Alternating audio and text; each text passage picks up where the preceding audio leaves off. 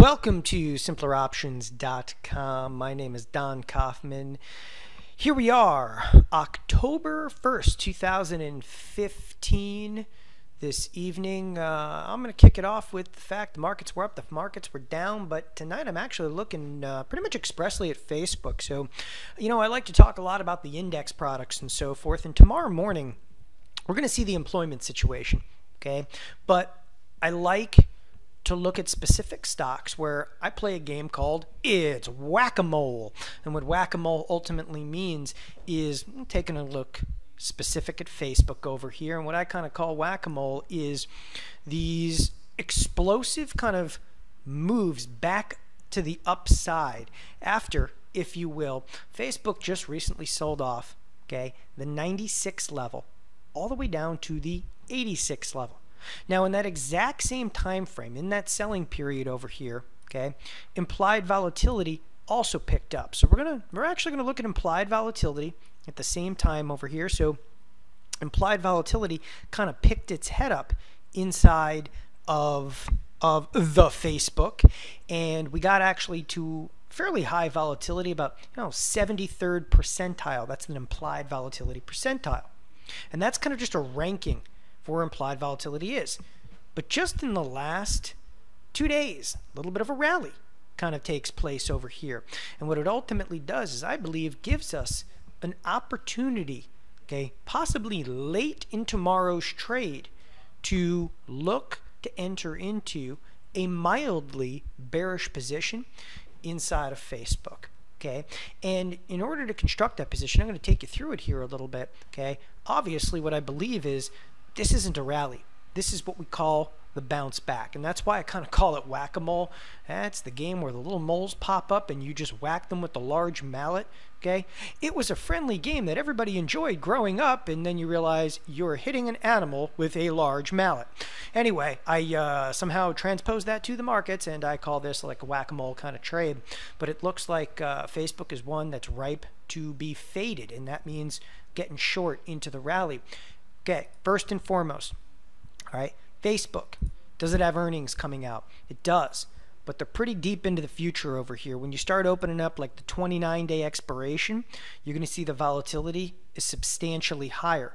Okay, I'm avoiding, avoiding that. I want to stay away. Come on, stay away from the earnings announcement. Don't get cute. I don't want to wait 29 days. I'm actually going to use a 22 day expiration to get this trade done. And as such, I am not going to initiate this trade on the open tomorrow. The open tomorrow is going to be a free for all because the employment situation, order flow is going to be chaotic. I actually think we're probably going to rally, okay, off of it. But what I'm looking for is it, and if you can't get the trade on tomorrow because we continue to rally throughout the course of tomorrow or we sell off early in the day, all right, look for the trade again on Monday. You know, the great great thing about the markets, don't panic. They're going to be open another day.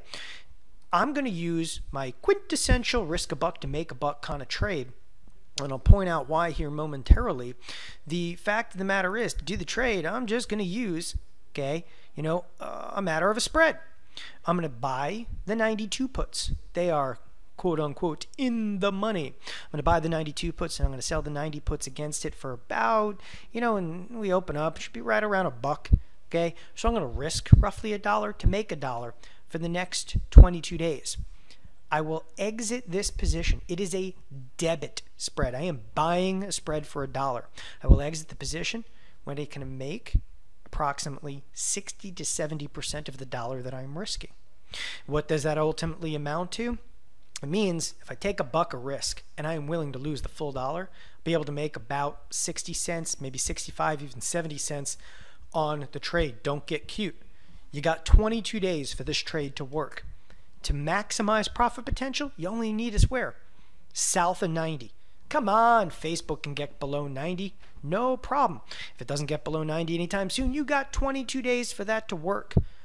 Look for the trade out there again. You only want to make 60 to 70%. No stop orders, nothing like that. Risk the buck. And the reason is the probability at some point, at some point between now and 22 days from now, the probability of making the 60% is significantly higher than the probability of losing the full dollar.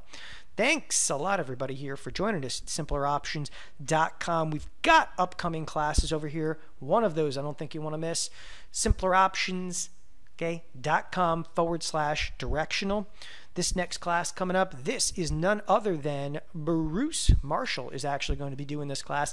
It's a beginner's guide to directional income trading in bear markets. It's about the big swings and volatility. It's about taking advantage of those.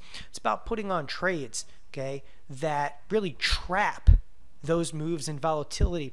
And ultimately, it's about trading and understanding which trades can take advantage of heavy volatility and which trades ultimately can not only negate volatility, okay, but be at risk because there's much more volatility. Recognize the last time we saw decent volatility in the markets, you're looking back to 2011, 2012.